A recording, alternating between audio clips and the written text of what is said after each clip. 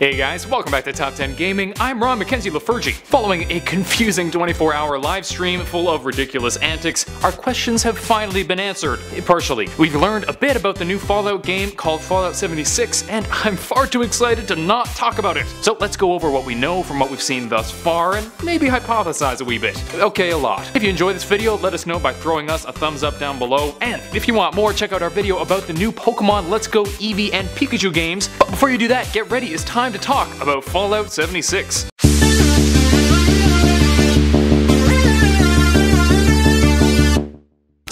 Fallout 76, what on earth could it be? We don't know a whole lot yet. On May 29th, there was a 24 hour live stream of a Vault Boy bobblehead with people going on screen from time to time doing random things.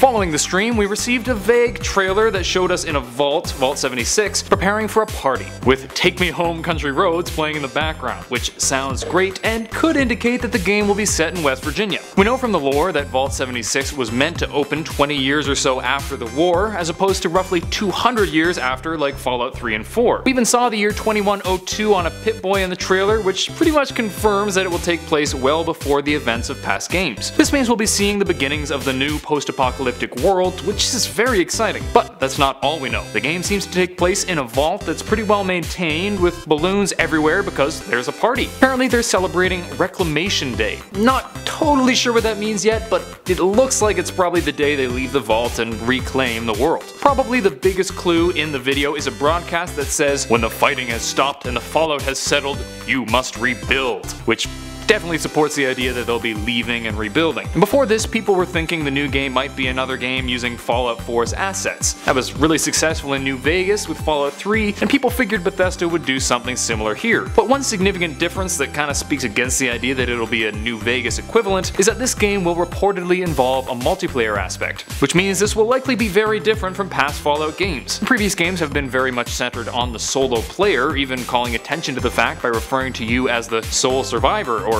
lone wanderer. But in Fallout 76, you won't be alone. You'll be working with or against other players. They haven't gone into detail about this, but there are certainly a lot of predictions that can be made. The fact that this will be multiplayer makes it seem like this will be a completely different game from previous ones. I don't think it'll be an MMORPG or anything, as awesome as that would be, I think it'll be a whole different game mode.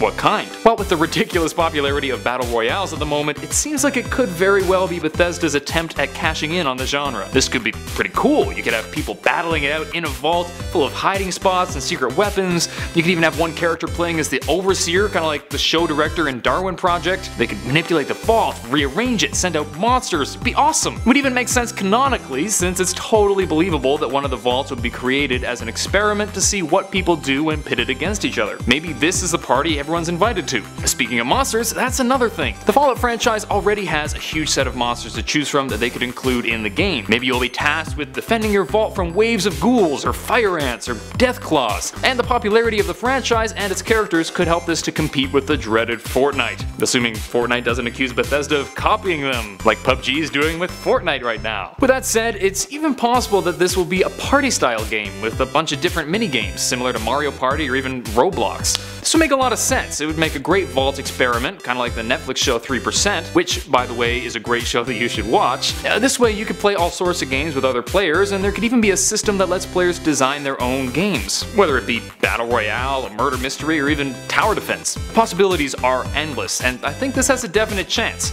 We need more party games. However, perhaps the most likely answer comes from some leaks that we just got. Three people claiming to be connected to the project but remaining anonymous say that it will be an online survival RPG similar to DayZ or Rust. They claim that it was originally going to be a multiplayer version of Fallout 4, but it eventually evolved into something else. According to them, it will have quests, a story, and base building among other mechanics. Now, this makes a lot of sense given the trailer, especially with the idea of reclaiming and rebuilding, and it would also tie in with the idea of fighting off all the different creatures that we've seen in past games. Now, hopefully it isn't too much like Fallout Shelter, I wasn't a big fan of that game, but this would be pretty neat and would put a new spin on the survival aspect of Fallout. It's even possible possible that some of the game modes I mentioned earlier could be included in mods or DLC. I, I think it'd be a mistake if there was no Battle Royale mode at all, and allowing users to create their own modes seems all but inevitable. That said, these are just anonymous tips. It could be kids messing around, it could be Bethesda trying to throw us off the track. We'll have to wait for E3 to learn more. That's it for today.